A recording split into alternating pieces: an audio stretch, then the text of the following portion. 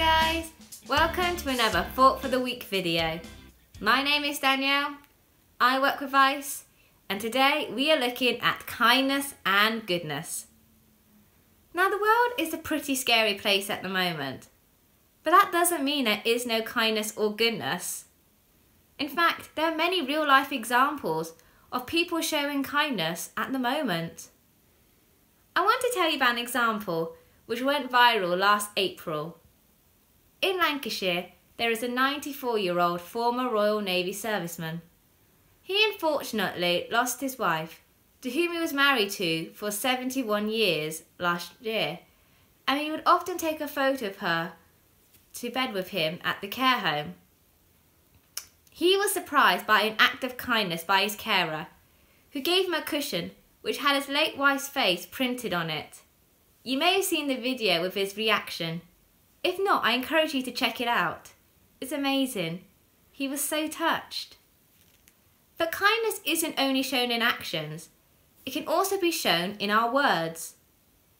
A quote from the physicist and theologian Pascal says Kind words do not cost much, yet they accomplish much. And this is true. It feels so good when you get a compliment, and it is so easy to give. Now let's take a look at goodness. The dictionary go definition of goodness is simply the quality of being morally good.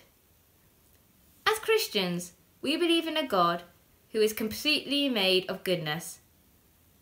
In Psalm 27:13 it says, I remain confident of this I will see the goodness of the Lord in the land of the living. Therefore, Christians believe we should see the good in others because we are created by a good God. I really encourage you to think about where you have seen goodness and kindness in your community and how you can show goodness and kindness yourself. Sometimes this can be as simple as smiling at people outside or just doing an extra chore around the house. Here are some questions for you to think about. 1. What is the kindest thing that has happened to you? 2. Have you ever been surprised by a good deed done by someone else? And 3.